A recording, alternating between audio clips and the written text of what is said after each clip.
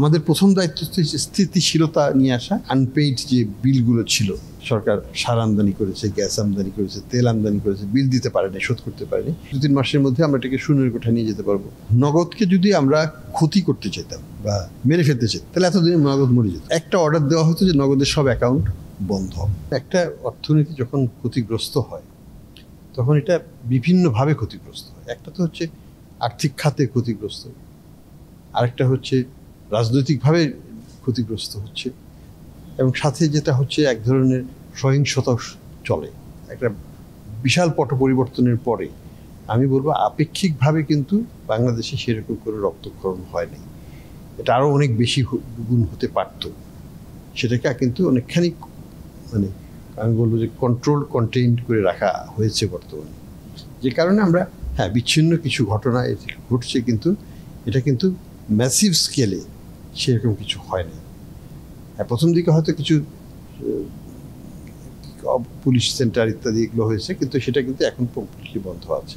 তো আমি মনে করি যে এই মানে জনজীবনের যে স্বাভাবিক অবস্থাটা বহুলাংশ ফেরত চলে এসছে, এখন আমাদের যেটা কর্তব্য হচ্ছে এটাকে ধারাবাহিকভাবে একটা ভালো অবস্থায় নিয়ে যাওয়া। সেটা সেটার দুটো দিক আছে, একটা তো হচ্ছে জনজীবন আর একটা হচ্ছে অর্থনৈতিক পারিপার্শ্বিকতা এবং অর্থনৈতিক জীবনমান ইত্যাদি। তো সেই জায়গাটাতে আমাদের ফোকাসটা বাংলাদেশ ব্যাংক তো প্রধানত আমাদের দায়িত্ব হচ্ছে দুটো, তিনটে জায়গাতে একটা হচ্ছে যে আমাদের মূল্যস্ফীতিকে কমিয়ে আনাটা হচ্ছে আমাদের প্রধান দায়িত্ব। সেখানে আমি মনে করি যে আমাদের আগের কর্তৃপক্ষ যারাই থাকুক না কেন সরকারি বলি বাংলাদেশ ব্যাংকের নেতৃত্বরাই বলি, তারা সেখানে অবহেলা করেছে বা পলিসিগত ভুল ভ্রান্তি ছিল যে কারণে আমরা সেখানে কমার বদলে সেটা বেড়ে গেছে আর। সেটা একটা দিক, সেখানে আমাদের কাজ করতে হচ্ছে। দু নম্বর যেটা হচ্ছে যে ব্যালেন্স অফ পেমেন্টে একটা বড় ধরনের অস্থিতিশীলতা আছে। গত দুই বছর ধরে আছে এটা। এটা দুই বছর ধরে এটা বড় বিরাজমান। শুরুটা হয়েছে আরও দশ বছর আগে থেকে। কাজে দশ প্লাস দুই বারো বছরের একটা সমস্যা যেটাকে আমাদেরকে ট্যাকেল করতে হবে। তা আমরা আশা করি এটাও আমরা কাজ করছি, করব, আমি বলব কীভাবে করছি। এ দুটো হচ্ছে আমাদের, আর সাথে আমাদের যেটা করতে হবে ম্যাক্রো ইকোনমিক কন্টেক্সটা আমাদের এরিয়ার বাইরে বাট সেটা হচ্ছে ফিজিক্যাল ম্যানেজমেন্ট বাজেটের বাস্তবায়ন বাজেটকে গতিশীলতা আনা এবং রাজস্ব আহরণ। এগুলো হচ্ছে একটা ইকোনমিক ম্যানেজমেন্টের একটা বড় ভূমিকা, যেটা সামগ্রিক অর্থনীতিকে ভারসাম্য রাখতে সহায়তা, সহায়ক ভূমিকা পালন করবে। এগুলো কিন্তু একটা ছাড়া আরেকটা হবে না। এটা অঙ্গাঙ্গিভাবে জড়িত একসাথেই কাজ করতে হবে as a team work Bangladesh ব্যাংকের কাজটা বাংলাদেশ ব্যাংকে করতে হবে। বাজেট বাস্তবায়নের কাজ, রাজস্ব আহরণের কাজ, এটা ফাইন্যান্স মিনিস্ট্রিকে করতে হবে। মূল্যস্ফীতির ক্ষেত্রে আমরা কি করছি? মূল্যস্ফীতির ক্ষেত্রে আমরা কিন্তু মানে গত মে- মে মাস থেকেই বিভিন্ন চাপের মুখে গত সরকারই কিন্তু এক্সচেঞ্জ রেটটাকে ছেড়ে দিয়েছিল এবং ইন্টারেস্ট রেটটাকেও ছেড়ে দিয়েছিল বাজার ভিত্তিক সেটা কিন্তু সেই অবস্থাতে আছে। আমরা কি করেছি আর একটু টাইট করেছি মন্ট্রি পলিসিটা পলিসি রেট যেটা ছিল সাড়ে আট শতাংশ, সেটাকে নয় করা হয়েছে, এটা সাড়ে নয় নিয়ে যাব এবং পরবর্তী মাসে এটাকে দশে নিয়ে যাব। এটা এটা আমাদের প্রি প্ল্যান্ড এটা এটা আমরা করব। এখন আগামীতে তার থেকে কী কাজ হবে, কি হবে না সেটা আমরা দেখব। দেখার পরে ফার্দার টাইটেনিং যদি দরকার হয় আমরা করব। যদি না হয় তাহলে আমরা এখানে এখানে থেমে যাব। আমাদের যেটা লক্ষ্য এবং আমার আমি মনে করি যেটা কাজ করবে আশাবাদী। সেটা হচ্ছে বর্তমানে আমাদের ইনফ্লেশন ছিল গত জুলাই মাসে সবচেয়ে বেশি। এটা ছিল এগারো দশমিক ছয় শতাংশ। আবার খাদ্য স্ফী- মূল্যস্ফীতিতে ছিল চোদ্দ শতাংশেরও বেশি। তো এটা অগাস্ট মাসে একটু কমেছে, এক শতাংশের মতো কমেছে। এটা একটা ভালো দিক। আমি আশাবাদী যে আগামী মাসগুলোতে একটু কমে আসবে আরও। তো অফিসিয়ালি আমাদের টার্গেট হচ্ছে সাত শতাংশে আনা এই বছর ফিজিক্যাল ইয়ারের শেষ নাগাদ সাত শতাংশে নামে। সেটা আমি মনে করি অবশ্যই হবে। এবং আমা, আমি আশাবাদী যে এটা হয়তো মে, জুনের সরি এপ্রিল, মের মধ্যেই হয়ে যাবে সাথে তারপরে হয়তো আমরা আরও নামিয়ে নিয়ে আসব, হয়তো ছয় বা পাঁচে নামিয়ে আনার চেষ্টা করব। তো এটি আমাদের লক্ষ্য। আমরা যদি মূল্যস্ফীতিকে পাঁচে নামিয়ে আনতে পারি, তাহলে অবশ্যই ইন্টারেস্ট রেটকে আমরা কমিয়ে আনতে পারব। তাহলে আবার ইন্টারেস্ট রেটটাও কমে আসবে। ইন্টারেস্ট রেটটা কমে আসলে তখন আমরা বাজারে তখন একটা চাহিদা বৃদ্ধি করতে পারব, ঋণের প্রবাহ বাড়াতে পারব, সেই দিকটা তখন আমরা কাজ করব। অর্থাৎ প্রবৃদ্ধির দিকে আমরা নজরটা দিই মূল্যস্ফীতি হচ্ছে সাধারণ মানুষের জন্য সবচেয়ে বড় কঠিন সমস্যা। এটা বড় লোককে বড় লোক করে, গরিবকে গরিব করে। যাদের সম্পদ আছে তাদের সম্পদের পরিমাণ বেড়ে যায়। যাদের সম্পদ নাই, তাদের আয়, আয়ের উপর নির্ভর, তাদের আয়টা কমে যায়। সম্পদও নাই, সম্পদের দাম বেড়ে গেছে, সেটা কিনতেও পারবে না কোনো দিন আয় যেটুকু আছে সেটা সংকুচিত হয়ে গেছে। ফলে তার ক্রয় ক্ষমতা কম, তার জীবনযাত্রার মানটা কমে যায়। সেই জন্য আমরা যেটা আগে বলেছি যে আমাদের লক্ষ্য হচ্ছে মূল্যস্ফীতিকে এই বছরের শেষ নাগাদ ছয় সাতে নিয়ে আসা এবং পরবর্তীতে চার পাঁচে নিয়ে আসা। এবং সেটা হলে পরে বাংলাদেশের ইতিহাসে কিন্তু চার পাঁচ পার্সেন্ট হয় নাই। যদি আমরা করতে পারি, তাহলে আমি মনে করি একটা বড় একটা অ্যাচিভমেন্ট হবে সরকারের জন্য। সেই লক্ষ্যে আমরা কাজ করছি। আশাবাদী হলে পরে সাধারণ মানুষের উপকার হবে। তারা তাদের জীবনযাত্রার মান আবার ফেরত পাবে। কারণ তাদের যে মজুরির বৃদ্ধি, সেটা সাধারণত সাত আট পার্সেন্ট হয়। ম্যাক্সিমাম দশ পার্সেন্ট হয়। কাজেই আমি যদি ইনফ্লেশনকে চার পার্সেন্ট নামিয়ে আনতে পারি, তার মজুরি বৃদ্ধিও আট পার্সেন্ট হলে তার চার পার্সেন্ট তার প্রকৃত রিয়াল ওয়েজটা বাড়ে। সেই জায়গাটা আমাকে নজরটা দিতে হবে। কীভাবে তার প্রকৃত মজুরিটাকে আমরা বাড়াতে পারি। এক্সচেঞ্জ রেটটা কিন্তু স্টেবল আছে। আমাদের এক্সচেঞ্জ রেটটা একশো বিশ টাকাতে এখন স্টেবল আছে। গত তিন মাস ধরেই কিন্তু এটা এই পর্যায়ে আছে। আমি আসার পরে যেটা ছিল যে ক্রলিং পেগের যে ব্যান্ডটা ছিল, সেটা এক পার্সেন্ট ছিল, সেটা আড়াই পার্সেন্ট করে দেওয়া হয়েছে এবং তাতে সর্বোচ্চ মূল্য হয় একশো বিশ টাকা। তা ওইখানেই এখন মোটামুটিভাবে গত এক মাস, দেড় মাস ধরে ওইখানেই যে স্থিতিশীল আছে। কার্ব মার্কেটের সাথে পার্থক্য কিন্তু এখন আর নেই। এক টাকা আছে, কিন্তু যদি আমি ইনসেন্টিভ দিই, তাহলে কার্ব মার্কেট কম ইন্টারব্যাংক মার্কেটের চাইতে। এটা কিন্তু বাংলাদেশে কোনোদিন হয় নাই। এটা মনে রাখতে হবে। যে কার্ব মার্কেটে একটা লোক যদি ই মানে সরকারিভাবে টাকা পাঠায়, সে বেশি টাকা পাবে, বেসরকারিভাবে টাকা পাঠানোর চাইতে। এই জিনিসটা প্রথম আমরা দেখতে পাচ্ছি। এটা হচ্ছে পজিটিভ থিং যে একটা এক্সপেকটেশনের মধ্যে একটা পার্থক্য তৈরি করে ফেলছি আমরা। তো আমি আশাবাদী যে এক্সচেঞ্জেরটাকে যদি স্টেবল থাকি, আমরা এটা করতে পারব। ব্যালেন্স অফ পেমেন্টের সাইডে যদি আমরা দেখি, যখন চোদ্দোই অগাস্টে আমি এই গভর্নরশিপ নিই, তখন আনপেইড যে বিলগুলো ছিল, সরকারের বিল এগুলো, যেটা সরকারিভাবে সরকার সার আমদানি করেছে, গ্যাস আমদানি করেছে, তেল আমদানি করেছে বিল দিতে পারেনি, শোধ করতে পারেনি সে পরিমাণটা ছিল দুই বিলিয়ন ডলার এখন এটা কত আছে? এটা এখন আছে one point two billion dollar আটশো মিলিয়ন আমরা কমিয়ে ফেলেছি। তো দেখা যাক ইনশাল্লাহ হয়তো দু তিন মাসের মধ্যে আমরা এটাকে শূন্যের কোঠা নিয়ে যেতে পারব। তো আমরা আশাবাদী যে আমরা যেগুলো জিনিসগুলো হয়েছে, সেখান থেকে আমরা বের হয়ে আসতে পারব। আমরা কি চাই? আমরা চাই রিজার্ভটা যেন আরও বাড়ে। আমাদের রিজার্ভ আছে। আমরা কখনোই মানে শ্রীলঙ্কার মতো হইনি, পাকিস্তানের মতো হইনি। আমাদের রিজার্ভ সবসময়ই এখন পর্যন্ত এটা তিন মাসের বেশি আছে। ইম্পোর্ট তিন মাসের ইম্পোর্ট কাভারেজের বেশি আছে। এটা এটা এটা অবশ্যই সেইভাবেই রাখতে হবে, বার বাড়াতে হবে আগামীতে। যে জিনিসটা আমি করেছি, অতীতে প্রতি মাসে এক থেকে এক দশমিক এক বিলিয়ন করে বাজারে রিজার্ভ থেকে ছাড়া হতো ডলার আপনাদের সবাই মনে আছে সেটা। এখন কিন্তু গত এক মাসে কিন্তু আমি এক এক বিলিয়ন না, একটা ডলারও ছাড়িনি উল্টো কিছু কিনেছি, কিনে রিজার্ভে দিয়েছি। এটার এটার উদ্দেশ্যটা কি? উদ্দেশ্যটা হচ্ছে যে ফরেন এক্সচেঞ্জ যে মার্কেটটা আছে মার্কেটটা তো আমাদের বড়। মার্কেট কতখানি বড়? মার্কেটে আমাদের ইম্পোর্ট হয় প্রায় পঁচাত্তর আশি বিলিয়নের মতো আমাদের ইম্পোর্ট হয়। সার্ভিস পেমেন্ট হয় আরও কয়েক বিলিয়ন সব মিলিয়ে হয়তো আমরা আশি নব্বই বিলিয়নের মতো আমরা খরচ করি এই মার্কেট থেকে, তুলি। এই মার্কেটের সরবরাহটা আসে কোথা থেকে? সরবরাহ আসে আমার এক্সপোর্ট থেকে। এক্সপোর্ট থেকে আসে প্রায় পঞ্চাশ বিলিয়নের মতো। আমাদের রেমিটেন্স আসে প্রায় চব্বিশ বিলিয়নের মতো। এখানে চুয়াত্তর বিলিয়ন হয়ে গেল। আরও কিছু সার্ভিস টার্ভিস মিলিয়ে আরও সেখানে আরও আশি বিলিয়ন আসে। আশি আশি মিলিয়ে এটা মোটামুটি একটু ব্যালেন্স আছে। তো আমি চাচ্ছি এই আশি বিলিয়ন থেকেই সবাই যেন তাদের কার্য সম্পাদন করে। এখানে সরকার যেন এক পয়সা দিতে না হয় রিজার্ভ থেকে যেন আমাকে এখানে সাপোর্ট দিতে না হয়। আমরা কোনো সাপোর্ট দেবো না। এক্সচেঞ্জ রেটটা পুরোপুরিভাবে সরবরাহ এবং চাহিদা। বাজারের সরবরাহ বাজারের ফরেন এক্সচেঞ্জের চাহিদা এই দুটোর ভিত্তিতেই নির্ণীত হবে। এবং আমি আশাবাদী এই জন্য যে এটা একশো বিশেই থাকবে এই জন্য যে মোটামুটিভাবে একটা ডলার বিক্রি না করেও এক্সচেঞ্জ তো ওইখানেই আছে গত এক মাস ধরে। এখানে তো কোনো সাপোর্ট দেওয়া হয়নি। কাজে এটাই ইকুইলিব্রিয়াম এক্সচেঞ্জ এটা আমি মনে করি। এবং এটা যদি আমরা এখানে রাখতে পারি আমাদের ইন্টারেস্টেড সাপোর্ট আমরা দিচ্ছি বাজারকে।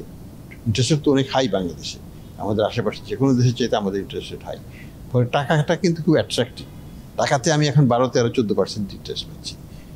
ডলারে করলে আমার পাঁচ, ছয় পার্সেন্ট পাবো। তো পাঁচ, ছয় পার্সেন্ট আর চোদ্দ পার্সেন্টের মধ্যে বিশাল তফাৎ। আমি কেন ডলার কিনতে যাব? আমি টাকাতেই রাখব আমার টাকা। সেই জন্য এই পার্থক্যটা আমাকে ধরে রাখতে হবে।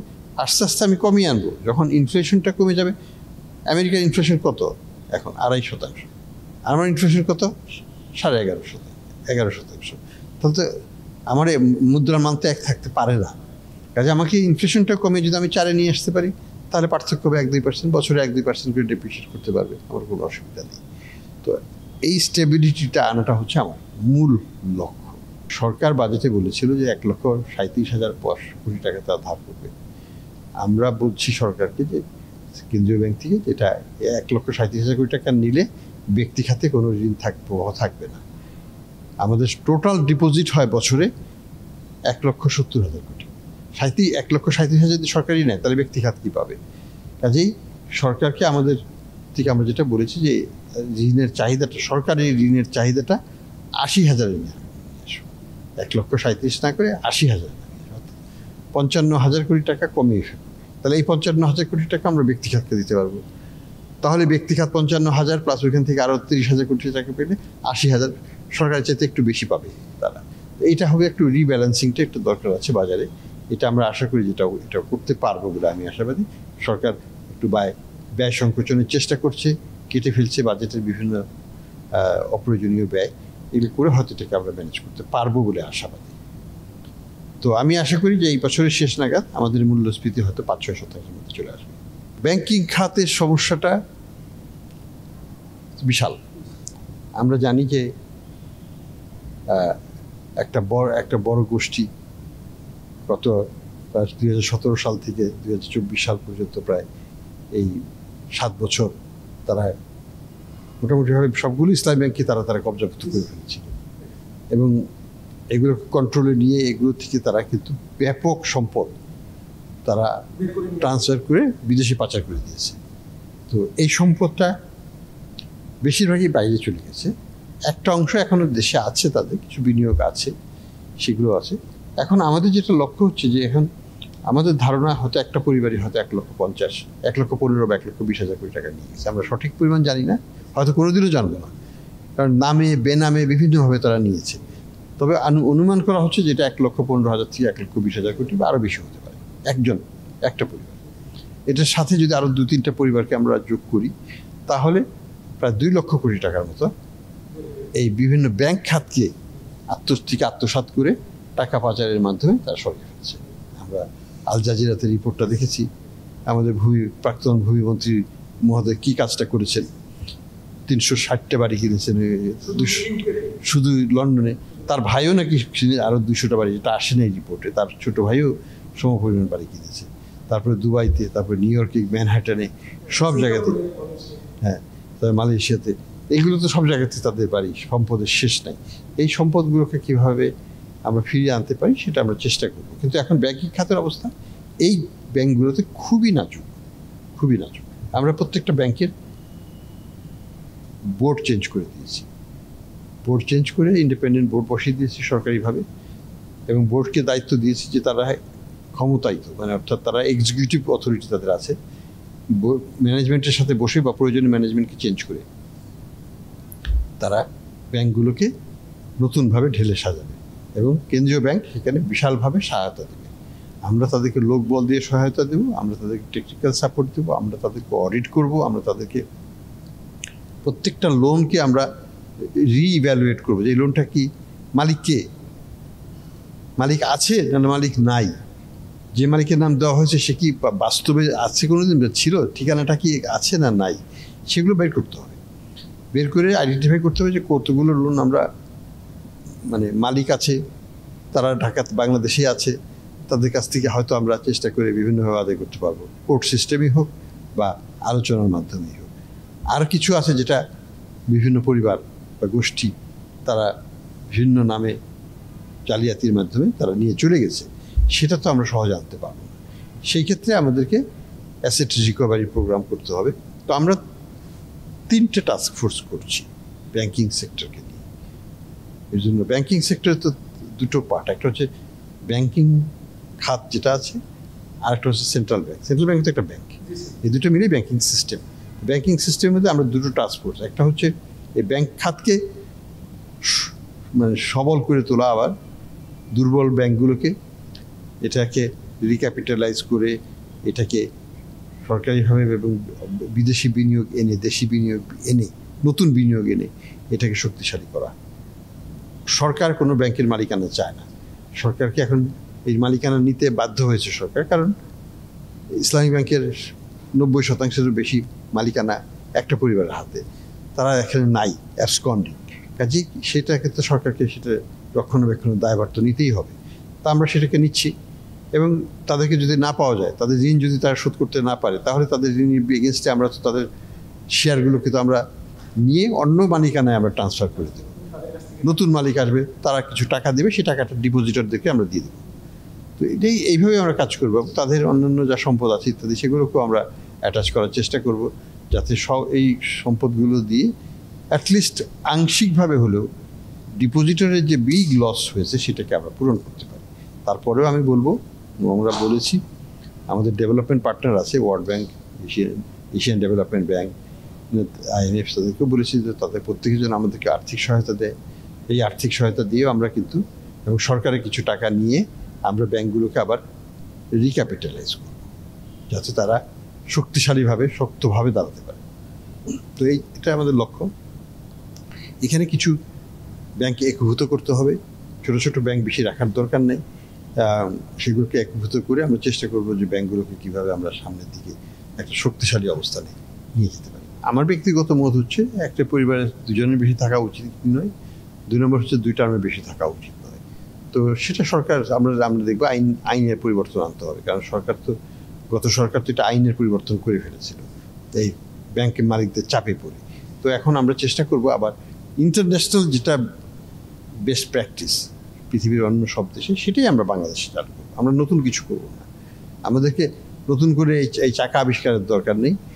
ব্যাজিল স্ট্যান্ডার্ড আছে, আন্তর্জাতিক নীতি আছে, নীতিমালা আছে, সেগুলোকে আমরা বাংলাদেশের ক্ষেত্রেও সমানভাবে প্রয়োগ করে বাংলাদেশকেও একটা আন্তর্জাতিকভাবে একটা গ্রহণযোগ্য ব্যাংকিং খাতে পরিণত করতে আমরা চেষ্টা করি আমরা একটা জিনিস করছি, আমি অলরেডি কিছু রেগুলেশন ক্যান্সেল করে দিয়েছি।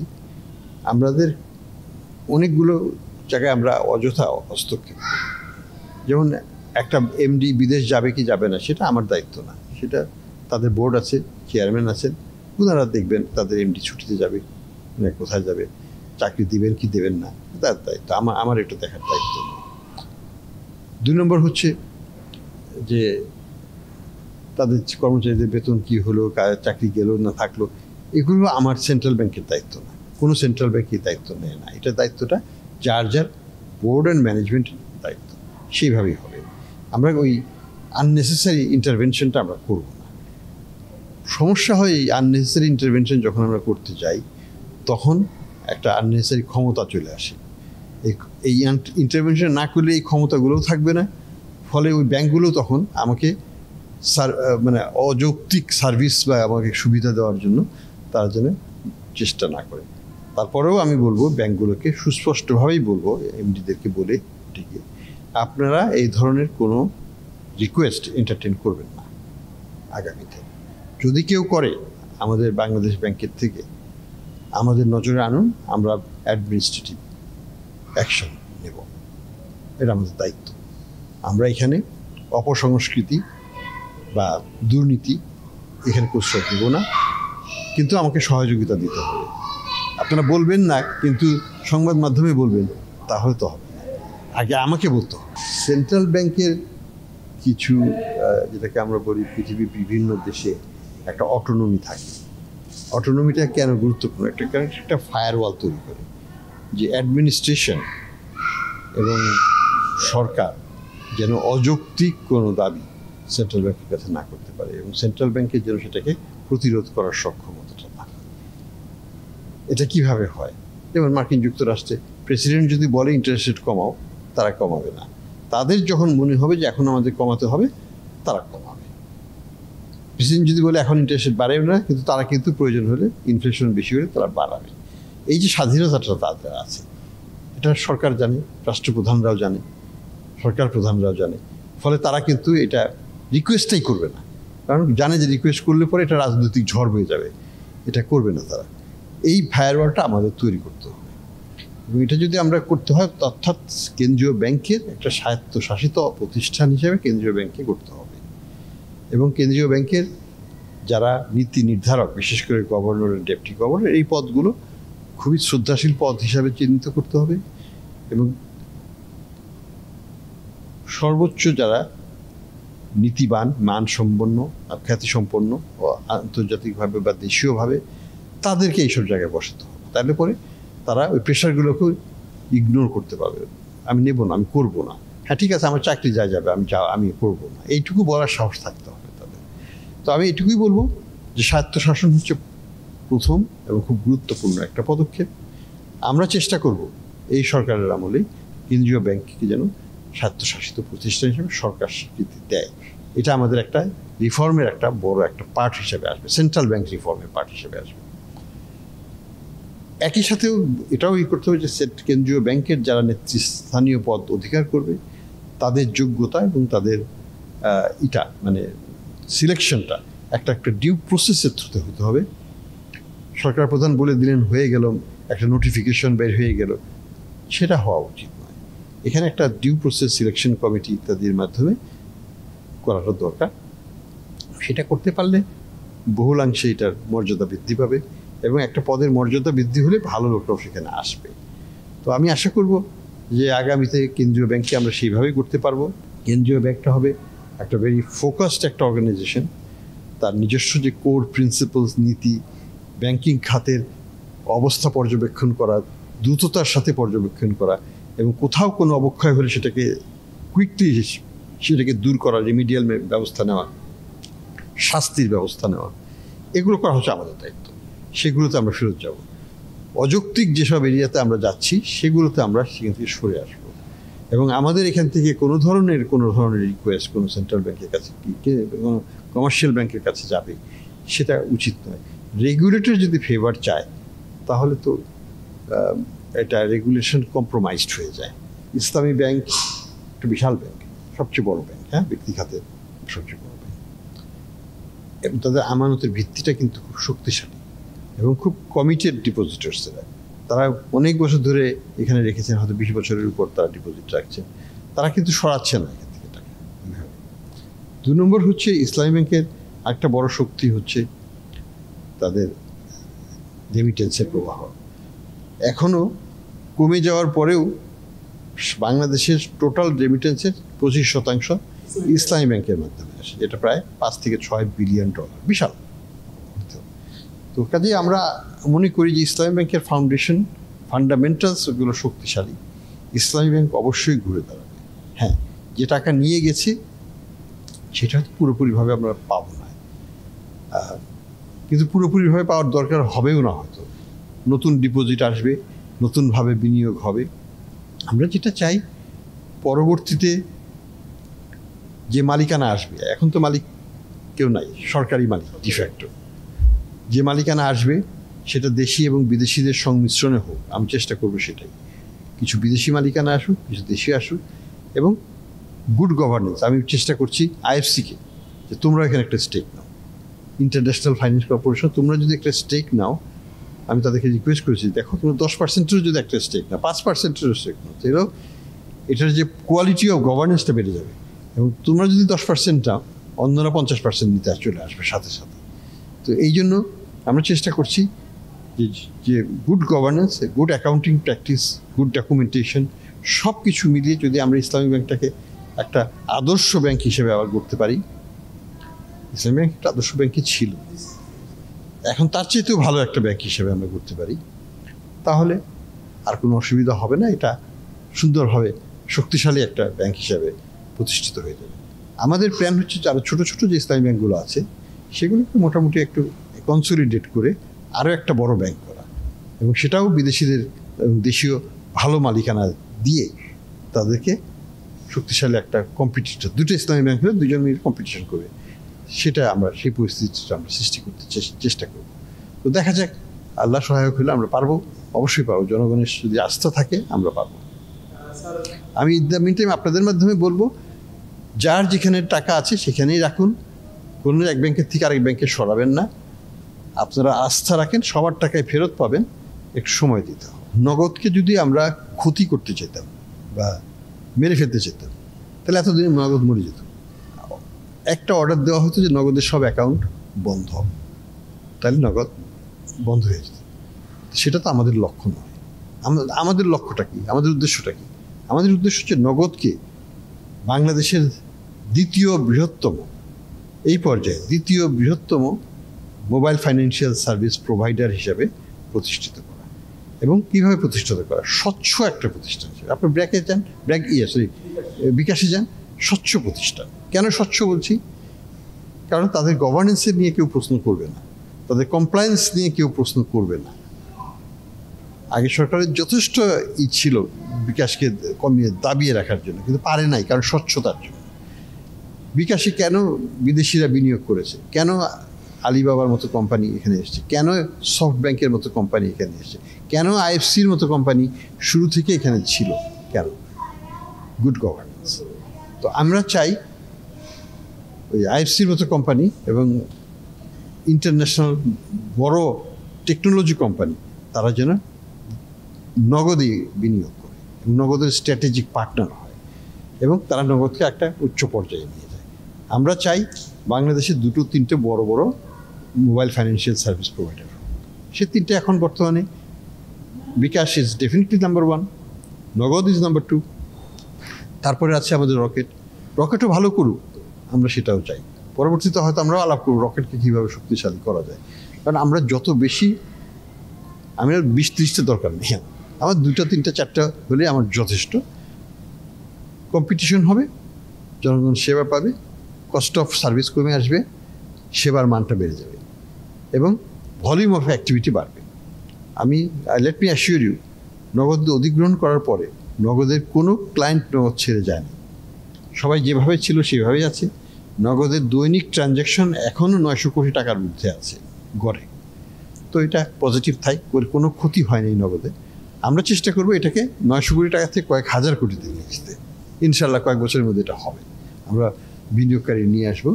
তাদের হাতে দিয়ে। সরকার এটার এখানে বেশি দিন থাকতে চায় না। রাখলে হয়তো স্মল একটা স্টেক রাখবে। মেজরিটি শেয়ার সরকার অবশ্যই দিয়ে দিবে অন্য ইনভেস্টরদের কাছে। এবং ওই যাতে, এবং ওই অর্থটা কোথায় যাবে? অর্থটা যাবে এখানে বিনিয়োগ হবে। যাতে এটাকে আরেকটু শক্তিশালী প্ল্যাটফর্ম হিসাবে এটাকে দাঁড় করাতে পারি। দুই নম্বর হিসাবে। অপপ্রচার যেটা করা হচ্ছে, আমরা নগদকে ধ্বংস করতে যাচ্ছি। আমরা বিকাশের গুপ্তচর হয়ে এখানে কাজ করছি। এটা সম্পূর্ণ মিথ্যা, অপপ্রচার এবং সেটাই যদি হতো তাহলে তো নগদকে আমরা কালকে মেরে দিই গতকালই মেরে দিতে পারতাম। সেটা তো আমরা করি। আমরা চাই বিকাশ অবশ্যই থাকবে, নগদ অবশ্যই থাকবে এবং নগদ বিকাশ দুজন সমানভাবে কম্পিট করে আমাদের জনগণকে সেবা এক ব্যাংকের পরিচালক আরেক ব্যক্তি ঋণ নিতে পারবে, এটা কোনো বাধ্যবাধকতা থাকে না, পৃথিবীতে কোথাও নাই করতে পারবে না। কারণ আমার একটা বিজনেস থাকতে পারে। এখন আমার ব্যাংক থেকে আমাকে টাকা দিচ্ছে না, অল্প দিচ্ছে। আমার প্রবলেম তো অনেক বেশি। আমি আর আমি কোথায় যাব? আমি অন্য কোথাও, অন্য একটা ব্যাংক থেকে তো আমাকে নিতে হবে, তাই না? কাজে সেটা অপরাধ নয়। অপরাধটা হচ্ছে, আমি এক ব্যাংকের থেকে টাকা নেব, আমি টাকাটা শোধ করব না, এবং আমি আরেকজনকে টাকা দেবো, সেও আমার ব্যাংকের টাকা শোধ করবে না। অর্থাৎ পরস্পরের পিঠ চুলকিয়ে আমরা ব্যাংকগুলোকে সর্বনাশ করে দিচ্ছি। এই জায়গাটাতে হচ্ছে আমাদের আপত্তি। এবং এটা আমরা হতে দেখো যেটাকে আমরা বলি কলিউসিভ লেন্ডিং অর্থাৎ আতাত করে, ষড়যন্ত্র করে পরস্পরকে লোন দিয়ে ব্যাংকের ক্ষতি করেছে তারা। বাংলাদেশ ব্যাংকের দায়িত্ব হচ্ছে এই ক্ষতিটাকে রোধ করা। এটা হতে না দেওয়াটা। এখানে আমাদের ব্যর্থতা ছিল। আমাদের যারা আগের কর্ণধার ছিলেন, তাদের ব্যর্থতা ছিল। হয়তো তারা জানতেন, তারা কিছু করেন নাই। সেখানে অবশ্যই এটা একটা অপরাধী বলব। তো যাই হোক, আমি যেটা বলব যে এই ধরনের অপকর্ম যেটার মাধ্যমে অপরাধ সংগঠিত হয়, সেটা যেন না হয়, সেই জন্য আমাদেরকে কেন্দ্রীয় ব্যাংকে শক্তিশালী করতে হবে। কেন্দ্রীয় ব্যাংকের, যেটা আগে বলছিলাম, যে কেন্দ্রীয় ব্যাংকের এটা মানে ইন্ডিপেন্ডেন্সটা আমা- আমাকে যেটাকে স্বায়ত্ত শাসনটা এটাকে জোরদার করতে হবে। এই অপকর্মগুলো কিন্তু রাজনৈতিক ছত্র ছায়াতেই হয়। কেন্দ্রীয় ব্যাংক জানে কিন্তু কিছু করতে পারে নাই, বা করতে দেওয়া হয় নাই, বা করতে চায় নাই, যেটাই হোক না কেন, সেখানে একটা হস্তক্ষেপ ছিল, রাজনৈতিক হস্তক্ষেপ। রাজনৈতিক একটা প্রভাব ছিল। সেইটা যেন কোনোভাবেই আবার কেন্দ্রীয় ব্যাংককে প্রভাবিত না আমি ব্যক্তিগতভাবে মনে করি যে এটা দরকার নাই। পৃথিবীর কোনো দেশে এই ধরনের প্রতিষ্ঠান থাকে না। এবং ব্যাংকিং খাতের জন্য একটাই প্রতিষ্ঠান থাকে। অর্থাৎ একটা গাড়ি চালানোর জন্য একটা গাড়ি হচ্ছে একটা বাস মনে করেন, একটা ড্রাইভার এবং একটা স্টিয়ারিং হুইল থাকবে দুটি স্টিয়ারিং হুইল দুটো ড্রাইভার থাকে না। তো সেই জন্য এখানে নিয়ন্ত্রক একজনই হবে। মাল্টিপল নিয়ন্ত্রক হলে এখানে বিভিন্ন রকমের সমস্যা দেখা দেয়। তো সেই জন্য আমি আশা করব যে part of the reform of the banking system and the banking মানে অর্গানাইজেশন স্ট্রাকচার এই, এটাকে অবলুপ্ত করে আগামীতে কেন্দ্রীয় ব্যাংকে শক্তিশালী করা। সার্বিকভাবে আমি এটুকুই বলব, দেখুন, আমরা ক্ষমতা এসেছি এক মাসের একটু বেশি। আমরা চেষ্টা করছি সার্বত্রিকভাবে দেশের অর্থনীতিকে আবার একটা স্থিতিশীল অবস্থায় নিয়ে যেতে। আমাদের প্রথম দায়িত্ব হচ্ছে স্থিতিশীলতা নিয়ে আসা, মূল্যস্ফীতিকে পাঁচ, ছয় সাথে নিয়ে আসা এক্সচেঞ্জ রেটকে স্টেবিলাইজ রাখা একশো বিশের আশেপাশে, রিজার্ভটাকে আর একটু স্টেবল করে আস্তে আস্তে বাড়ানো। আমাদের যে আনপেইড বিলগুলো জমে গেছে সেটাকে আস্তে আস্তে কমিয়ে ওটাকে শূন্যর কোঠায় নিয়ে যাওয়া, যাতে কোনো ধরনের কেউ বলতে না পারে যে বাংলাদেশ তার পেমেন্টস অব্লিগেশন মিট করতে পারে না। বাংলাদেশ ডিফল্ট করেছে। এই কথা যেন আমরা বিশ্ববাজারে কেউ যেন না বলতে পারে। আমরা সবসময় আমাদের ঋণ শোধ করেছি। আমরা ইনশাল্লাহ আগামীতে করতে পারব। এটা সাময়িক সমস্যা। গত সরকার এটা রেখে গেছে। এটাকে আমরা সলভ করেই আমরা এখান থেকে উত্তরণ ঘটাবো। বাংলাদেশ এক বছরের মধ্যেই আমি মনে করি যে আমাদের অর্থনৈতিক চেহারা আমরা পাল্টে ফেলতে পারব। আমাদের পাশে থাকুন। ব্যাংকিং খাত খুবই নাজুক অবস্থায় আছে, সব ব্যাংক নয়, অল্প কিছু ব্যাংক যাই যেখানে ওই ডিপোজিট আছে, আপনার সাথে এক, সেখানেই তো আপনারা ডিপোজিট রেখেছিলেন। এতদিন যখন রেখেছেন, জানার পরেও যেটি, এটা এখান থেকে লুটতরাজ হচ্ছে, জানার পরেও আপনারা ডিপোজিট রেখেছেন। এখন লুটতরাজ হবে না আর। কাজে এখন আপনারা ডিপোজিটে উইথড্র করবেন না। এখানেই রাখুন, আপনাদের সম্পূর্ণ ডিপোজিট উইথ সুদ আসল সহ ফেরত পাবেন, অবশ্যই পাবেন। এই আশা দিয়েই আমি শেষ